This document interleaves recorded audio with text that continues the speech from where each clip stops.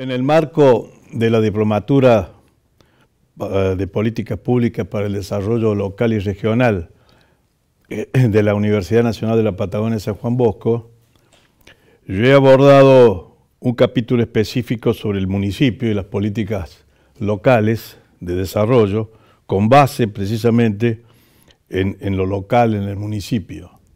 Lo primero que me ha interesado es subrayar la dimensión institucional que tiene el municipio en nuestra organización, que es una organización compleja, porque el Estado argentino es un Estado federativo, por lo menos en lo preceptivo.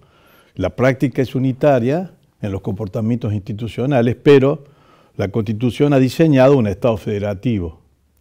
Eh, y la cenicienta institucional ha sido siempre el municipio. Siempre ha estado subordinado a dos esferas que sean considerados superiores eh, la nación y las provincias.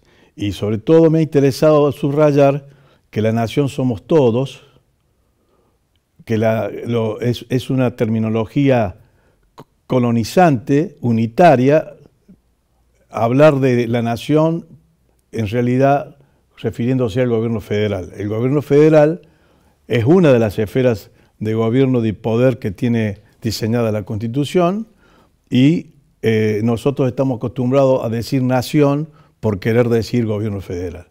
Esto es importante porque supone eh, ubicar al municipio en su exacta dimensión institucional.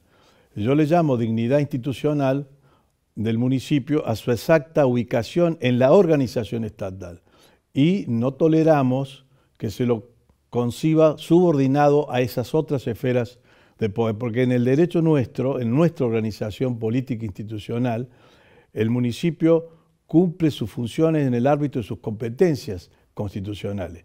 En Argentina no existen órganos superiores e inferiores de gobierno, sino que existen órganos que actúan en sus respectivas competencias constitucionales. Esto es lo que me ha interesado subrayar, porque a partir de eso, cuando hablamos de políticas públicas, tenemos que establecer quiénes son las eh, entidades gubernativas competentes para desarrollarlas.